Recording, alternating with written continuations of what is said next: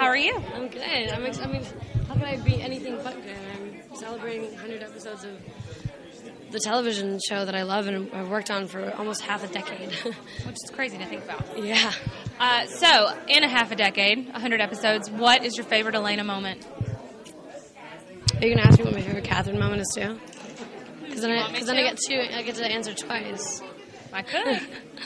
My favorite Elena moment, I think, has to have been. It's hard to say. I think it's it's the. It, I mean, I think it's um. Katherine and Elena both are, are for the uh, the fight sequence that I had together with both myself and myself, um, because you know I, I kind of I've always watched action movies growing up, and I have an older brother, and my dad loves them as well.